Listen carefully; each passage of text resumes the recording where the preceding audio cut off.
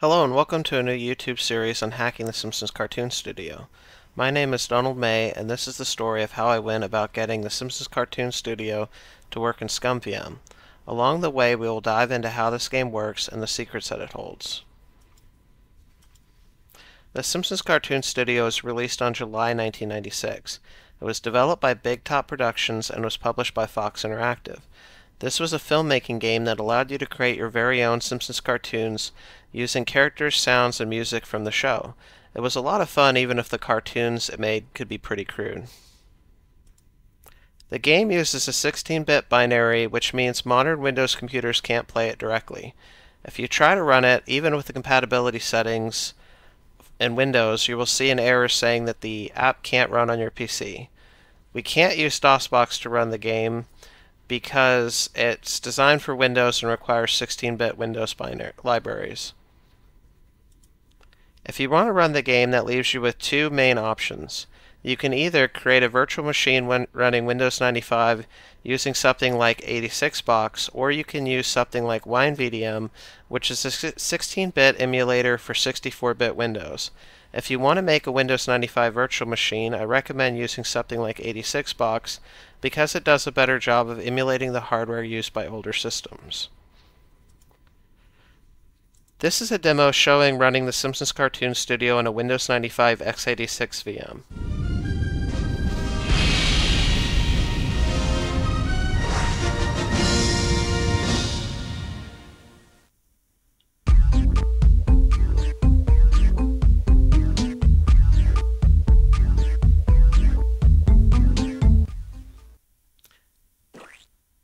This machine is emulating an Intel Pentium 2 overdrive at 66.67 MHz with 256 megabytes of RAM, and yes, I mean megabytes, and a 3DFX Voodoo 3 3000 graphics card. For audio, it is running a Sound Blaster 80 AWE32. This demo shows running the Simpsons Cartoon Studio using WineVDM.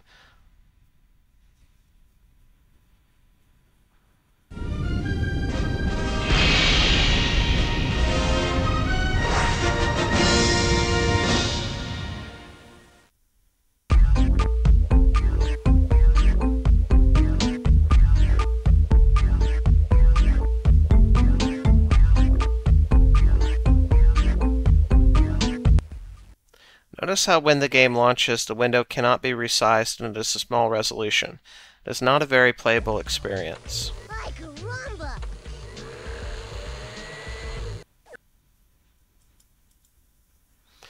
The problem with these approaches is that they require setting up a Windows 95 VM or using WineVDM as a compatibility layer with 16-bit Windows. Setting up a Windows 95 VM is a really time-consuming task that involves hunting down a lot of old drivers. It took me several hours to set up x86 box Windows uh, Windows 95 VM. WineVDM makes it pretty easy to run the game, but the actual experience itself is not very friendly because you can't resize the window, and so on large resolution monitors it just isn't very fun. Both of these approaches are not great to preserve this game for the future. Also, neither approach is truly cross-platform, and one goal of mine is to be able to play The Simpsons Cartoon Studio on my Steam Deck. So what can we do to preserve this game for the future? We could reverse engineer the 16-bit binary, but reverse engineering a binary takes a lot of time. A typical reverse engineering effort can take months to years. Alternatively, we can do some research to find out more about what the game is written in and see if there are any alternative approaches. After some Google searching and looking at the game credits, we can see that the Simpsons Cartoon Studio was developed using Macromedia Director 4, which was a multimedia author authoring program used to create a large number of CD-ROM games, interactive kiosks, and shockwave titles. The game was written in Lingo, which is a Macromedia Director scripting language. In 2008, Macromedia Director was renamed to Adobe Director. So does knowing that the game was created in Macromedia Director help us? Yes. ScummVM added support for Director games in 2016 and approved the support in 2020 and 2021. ScummVM, or Script Creation Utility for Maniac Mansion Virtual Machine, allows you to play certain games by replacing existing game executable. ScummVM supports a variety of different game engines, and one of the engines it supports is a director engine. It's not an emulator because it doesn't virtualize any hardware. As a result, it allows you to play games on systems they were never designed to run on originally. Is ScummVM a good choice to preserve this game for the future? ScummVM is a cross-platform and works on Windows, Linux, Mac, and consoles such as the Steam Deck, Switch, PS3, and more. It doesn't require a virtual machine or hardware emulation. I think these qualities make it a great choice to make the Simpsons Cartoon Studio playable for years to come because it dramatically simplifies the work needed to play the game. Additionally, ScummVM has a debugger so we can even find out more about how the game works. So, we should be able to just play the Simpsons Cartoon Studio in ScummVM and it should work out of the box. Foreshadowing, it doesn't. But I'm going to try to launch the game using ScummVM and after it loads you will notice a problem.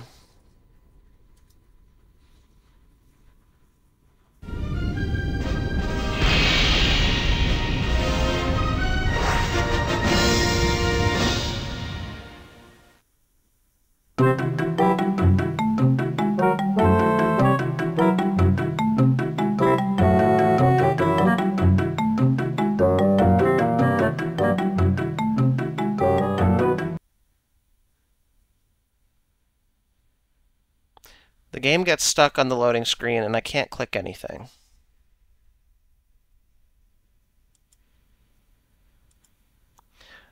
Unfortunately, the game doesn't work out of the box. The game gets stuck and we can't click on anything. And does, so does that mean we are defeated? No. We are going to continue to try to figure out why this game doesn't work. Let's check the ScummVM console log. When we look at the console output, we see a line that says the MS file xlib is unimplemented. I've highlighted this line using a red box. This means that ScummVM doesn't implement one of the libraries that the game needs to run. So the logs tell us this MS file xlib is missing. We are going to come back to this issue later. For now, we are going to see what we can learn using the ScummVM debugger. If we hit Control plus Alt plus D in ScummVM, we can access the debugger. When we use the debugger, we can type the command vars to show the current variables and their values.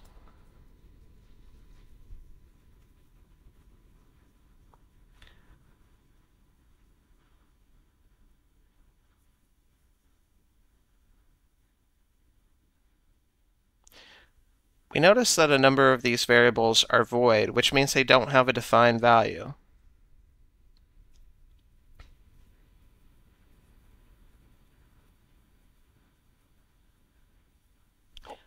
This is likely because of the missing MS file xlib.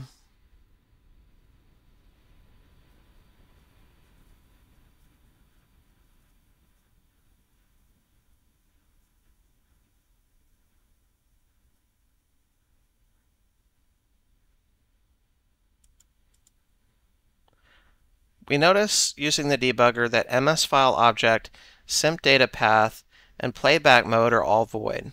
Playback mode sounds interesting for determining if we are loading or not. We set a breakpoint we will set a breakpoint whenever the playback mode variable is accessed to see where it is used in the code. Figuring out where what variables to look at takes trial and error and it's not always obvious where to start. What I'm showing you in this video represents many hours of debugging, troubleshooting, and problem solving. Here are some ScummVM debug commands. If you type help in the ScummVM debugger, you can get a much more complete list. The command we are interested in currently I've highlighted in yellow. bpvar creates a breakpoint when a lingo variable is read or modified. The breakpoint will pause our program execution when the variable is read or written to, and this will allow us to see where in the code that particular value variable is being used. Here we use bpvar to set a breakpoint on playback mode.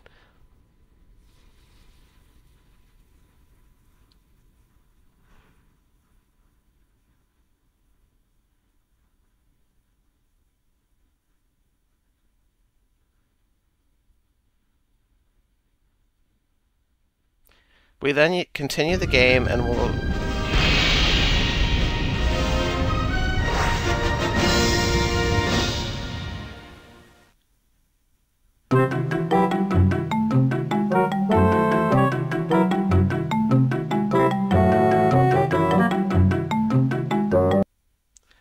we see the game breaks at the start movie function. We can use the disassemble command to show the lingo bytecode of the start movie function.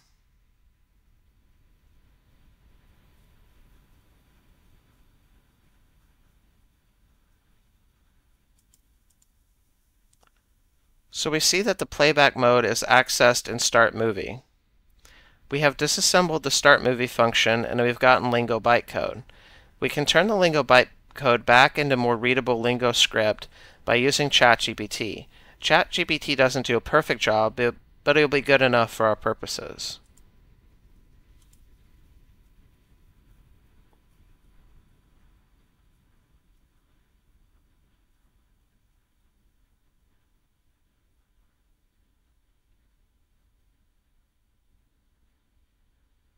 Here I'm pasting the Lingo bytecode into ChatGPT and asking ChatGPT to give me the Lingo code. Well, it doesn't do a perfect job, but it's close enough and it's a lot easier to read than the Lingo bytecode.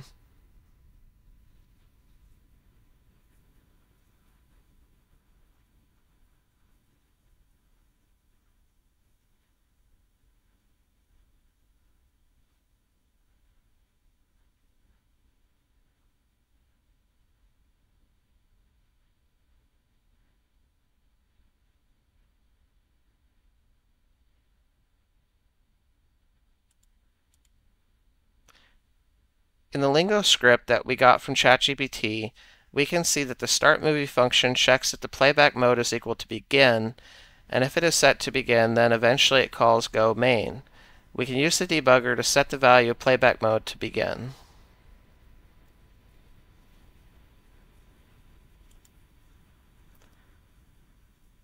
Also, looking at the debugger, we can see that the value of the Simpsons path variable is set to C Simpsons. If we look at the folder structure of the game, we can see that there is a Simpsons folder and a simp data folder. We can try to set the simp data path to C simp data to see if that's where, what the game is expecting. This is just an educated guess based off on the Simpsons path variable. So let's use the debugger to set the values of these two variables. We can use the REPL command to run Lingo commands. The command to set a lingo variable is set, followed by the variable name and equal sign and the value that we want to set the variable to.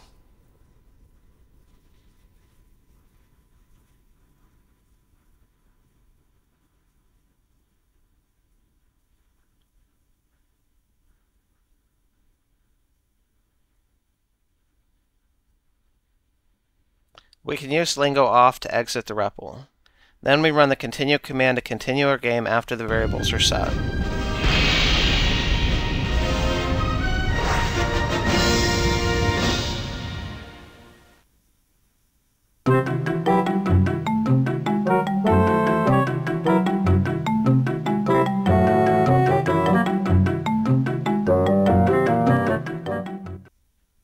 Once these two variables are set, the game loads as expected.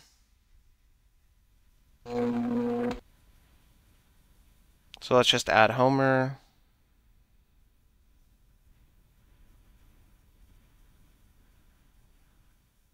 And we'll make him say dough.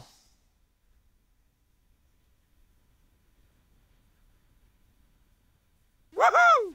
Or woohoo. Yep. Either way.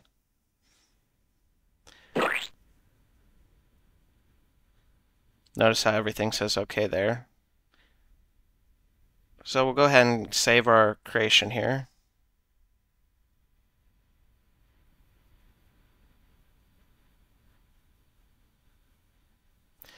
And when we do, the game freezes.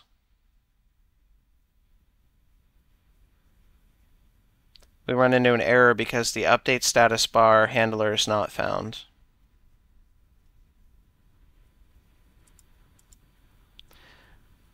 So we still have problems. Unfortunately, even after manually setting these variables, we still have problems, and setting these variables by hand is annoying and error prone.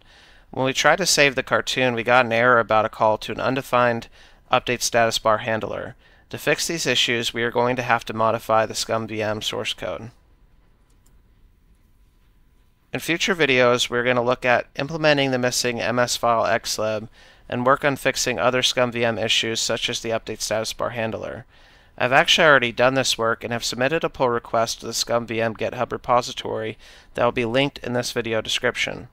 We'll also look at using a program called ProjectorRays to open the Simpsons Cartoon Studio Director files in Macromedia Director 4. Also, I would like to look into how to modify the game to enhance its functionality. One idea I have for enhancement is to increase the number of possible characters you can have when making a cartoon. Making this video took a lot of work and I'm a small channel. If you enjoyed this video, please consider subscribing and liking this video because it'll help motivate me to make more content. In the next video, we're going to dive into ScummVM source code, implement the MS file xlib, and more. Thank you for watching, and I hope that you have learned something new.